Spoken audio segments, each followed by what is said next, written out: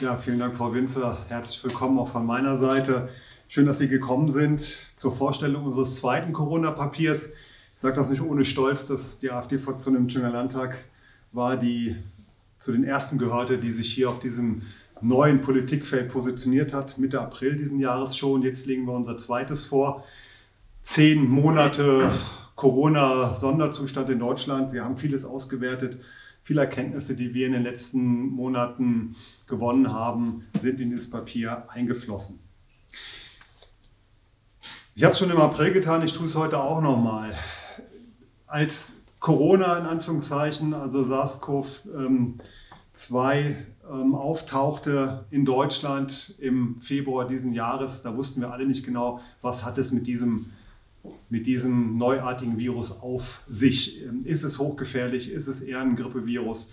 Am Anfang war die etablierte Politik auf der Linie, das alles zu verharmlosen. Auch in Thüringen wurde das so gehandhabt. Und dann hat man eine 180-Grad-Wende durchgeführt und hat Corona zu einem Killer-Virus aufgeblasen, muss ich sagen. Das ist jedenfalls meine Bewertung. Und äh, diesen Weg hat man leider bis heute zum Schaden des Landes, zum Schaden der Wirtschaft vor allen Dingen, zum Schaden der Demokratie in Deutschland nicht mehr verlassen. Ähm, Nochmal, ähm, Anfang des Jahres war einiges zu rechtfertigen. Wir wussten alle nicht, was los ist. Äh, heute sieht es anders aus. Heute müssen wir konstatieren, dass die Corona-Politik der etablierten Parteien total gescheitert ist. Und wir haben bereits Mitte April in unserem ersten Corona-Papier festgestellt, dass die massiven Grundrechtseinschränkungen und die bewusst in Kauf genommene Schädigung der Wirtschaft nicht notwendig gewesen wären. Dieser Satz, der gilt heute noch viel mehr. Ähm, das ist uns jedenfalls klar, ähm, weil die etablierte Politik, wie ich das gerade schon angedeutet habe, weiter in die falsche Richtung läuft und keine Anzeichen vorhanden sind, dass wirklich ein Umdenken stattfindet.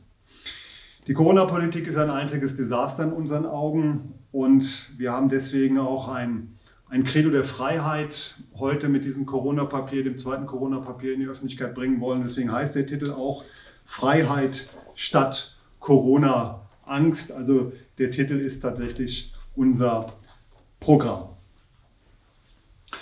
Alle Zahlen die wir in den letzten Monaten ausgewertet haben. Und wir haben zum Thema Corona auch eine große Anfrage an die Thüringer Landesregierung gestellt. Die Antwort kam, wenn auch verzögert, ähm, vor kurzem.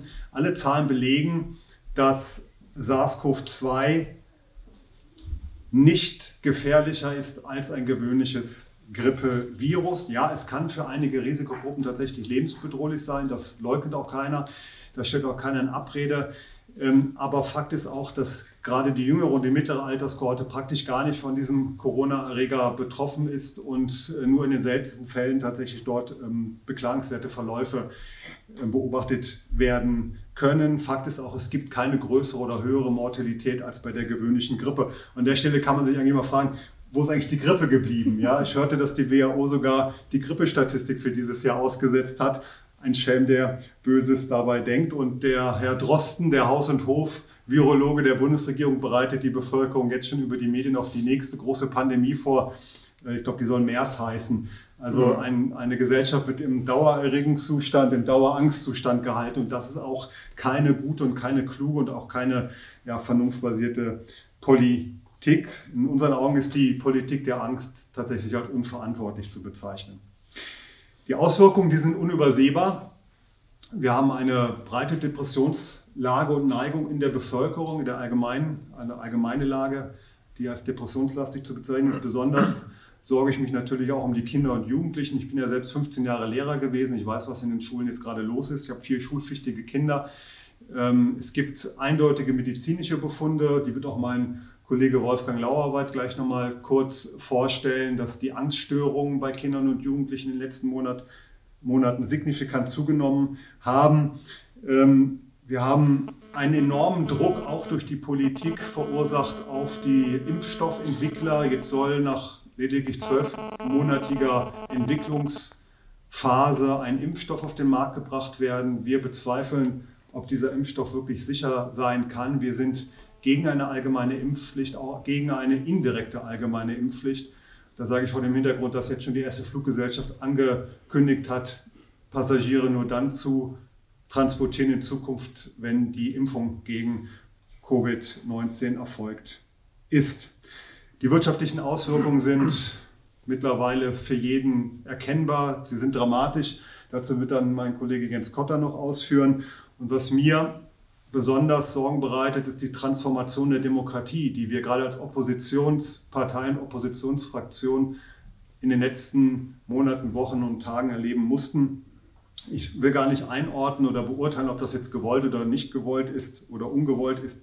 Aber Fakt ist einfach, dass die Parlamentsarbeit stark beeinträchtigt ist. Einzelbesucher oder auch Schulklassen können bei den Plenardebatten nicht mehr zugegen sein. Parteitage werden in Reihe abgesagt. Wir haben zwar einen durchgeführt, aber unter sehr, sehr scharfen Auflagen und mit einem enormen Kraftaufwand war das nur möglich. Ähm, das ist sicherlich keine freie Entwicklung einer Partei. Die Öffentlichkeitsarbeit ist stark reduziert. Das sage ich gerade als Führer einer Oppositionsfraktion. Ähm, wir sind darauf angewiesen, rauszugehen, unsere Botschaften auch über Bürgerdialoge über Familienfeiern äh, und so weiter, Feste zu, zu vermitteln. Alles das ist uns nicht möglich. Ich selbst habe seit acht Monaten keinen Bürgerdialog mehr gemacht. Ich habe in den Jahren davor viele, viele Bürgerdialoge gemacht, stellenweise mit, mit 200, 300, 350 Besuchern. Alles das ist unter Corona-Bedingungen nicht mehr möglich. Also wir sind wirklich massiv ausgebremst als Opposition. Und was auch sehr tragisch ist, ist die Spaltung der Gesellschaft, die man konstatieren muss. Auch produziert durch die etablierte Politik, nämlich in diejenigen, die folgsam alle Maßnahmen der Regierung unhinterfragt umsetzen und diejenigen, die Zweifel haben, wissenschaftlich begründet auch Zweifel haben, die werden als Corona-Skeptiker, Corona-Leugner und manchmal leider sogar auch als ja, Verschwörungstheoretiker und, und Rechtsextremisten betitelt. Eine schlechte Entwicklung, eine schlimme Entwicklung, für die die etablierte Politik leider auch überwiegend verantwortlich ist und für jeden Demokraten besonders einschneidend ist das Erlebnis, dass man einfach auch nicht mehr öffentlich ungestört demonstrieren kann, sondern auch nur, nur noch unter, unter Auflagen. Die Maßnahmen, die die Regierung beschlossen haben, und wir haben ja heute das neue Maßnahmenpaket wahrnehmen dürfen oder müssen, das von der Bundeskanzlerin und dem Ministerpräsidenten jetzt veröffentlicht worden ist, ähm, sind in unseren Augen völlig unverhältnismäßig ähm, und wenn wir mal einfach mal ein paar Zahlen nochmal zur Kenntnis nehmen. Ich habe hier eine ganz interessante Kurve, die jetzt sicherlich zu klein ist, als dass in der Kamera eingefangen werden könnte. Aber die zeigt einfach mal die unterschiedliche Entwicklung der Corona-Pandemie in Afrika und Europa. Und interessant ist, dass Europa bekanntlicherweise nur die Hälfte der Einwohner Afrikas hat, nämlich ganz Europa, also nicht nur EU-Europa, sondern ganz Europa etwa 750 Millionen. Afrika ist im Augenblick bei über 1,3 Milliarden. Und trotzdem hat Europa 4,2 mal so viele Corona-Fälle wie Afrika. Man kann also auf Grundlage solcher Zahlen, und davon gibt es viele Beispiele, tatsächlich von einer herbeigetesteten Pandemie sprechen. Ich habe mal eine interessante Einordnung dazu gehört, die ich, die ich äh, sehr, ähm, sehr zielführend fand, nämlich dass Corona vielleicht die erste Pandemie der Weltgeschichte ist, von der niemand Kenntnis nehmen würde, wenn es, nicht, wenn es keine Tests gäbe, wenn nicht getestet wurde. So kann man das tatsächlich sehen. Zum Schluss die klare Botschaft. Wir wollen, dass die Maßnahmen, die unverhältnismäßigen Maßnahmen sofort zurückgenommen werden, dass den Menschen die Freiheit zurückgegeben wird. Wir brauchen die Verlagerung der Verantwortlichkeit vom Staat auf den Einzelnen. Wir sagen ja zum Schutz von Risikogruppen, selbstverständlich.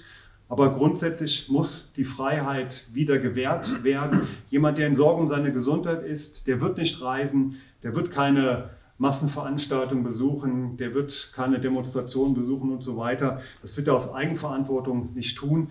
Ähm, aber das muss man den Menschen freistellen. Jeder ist letztlich selbst verantwortlich für seine Gesundheit, für die für den, für den, Großteil der Bevölkerung reicht es, eine Etikette zu kommunizieren. Das sollte die Regierung, Regierung tun. Wie in jeder Grippeepidemie soll es sicherlich Hygieneregeln geben, die man befolgen sollte. Aber Zwang lehnen wir tatsächlich ab. Ja, wir brauchen viel mehr Mut zur Freiheit in diesem Land wieder. Das ist unser Plädoyer oder mein Plädoyer zum Schluss. Ähm, sonst kommt tatsächlich Wohlstand, Demokratie und letztlich auch die Freiheit unter die Räder.